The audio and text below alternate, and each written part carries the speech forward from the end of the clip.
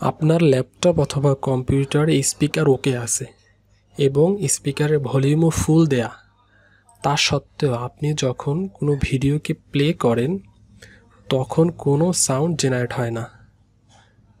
এই যে দেখুন, এখানে আমাদের ফুল ভলিউম দেওয়া, তারপরও এখান থেকে কোনো সাউন্ড হচ্ছে না।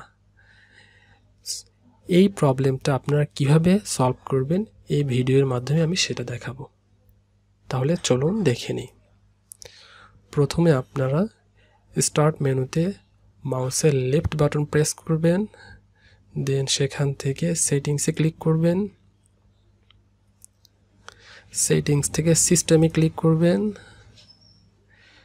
লেফট সাইডে বিভিন্ন অপশনের ভিতরে আপনারা সাউন্ডে প্রেস করবেন। সাউন্ড থেকে রাইট সাইড অথবা নিচে এখান থেকে আপনারা ক্লিক করবেন সাউন্ড কন্ট্রোল প্যানেল এই লিঙ্কটিতে। লিঙ্কটিতে প্রেস করার সাথে সাথে ছোট্ট একটি পপ আপ উইন্ডো চলে আসবে।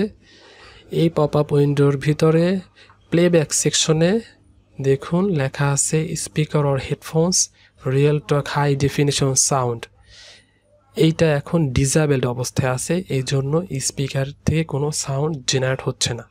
এইটাকে অ্যানাবেল করতে হবে। অ্যানাবেল করার জন্য এটার উপর মাউসের লেফট বাটন প্রেস করতে হবে দেন রাইট বাটন দেন সেখান থেকে এনাবেল এই অপশনটাকে টিক ক্লিক করতে হবে। ক্লিক করে দেন ওকে প্রেস করতে হবে।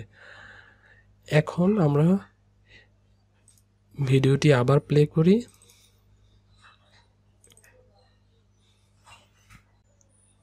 আসসালামু আলাইকুম সকলকে। সবাইকে প্রীতি ও শুভেচ্ছা জানিয়ে শুরু করছি আজকের ভিডিওটি। আজকের ভিডিওর মাধ্যমে আমরা দেখতে পাবো কোন রকম সফটওয়্যারের সাহায্য ছাড়াই আমরা ইউটিউবের ভিডিও কীভাবে সো ভিউয়ার্স এভাবে আপনারা খুব সহজেই সাউন্ড রিলেটেড প্রবলেম সলভ করতে পারবেন। থ্যাংক ইউ ভিডিওটি দেখার জন্য। দেখা হবে নতুন কোনো ভিডিওতে। সে পর্যন্ত ভালো থাকুন সুস্থ থাকুন। আল্লাহ হাফেজ।